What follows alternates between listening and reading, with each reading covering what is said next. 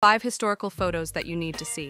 1947, beachside, four women capture the carefree spirit of the era, their laughter echoing in the ocean breeze. Fast forward to the charisma of Betty Rowland, 1940s burlesque icon, dazzling audiences with her flair. Cleo de Merode, the Belle Epoque ballerina, graces Paris with her timeless elegance. 1978 brings Debbie Harry's punk rock revolution, a blend of style and rebellious spirit. And the 1920s, Louise Brooks, the flapper culture icon, defining a decade of freedom and style.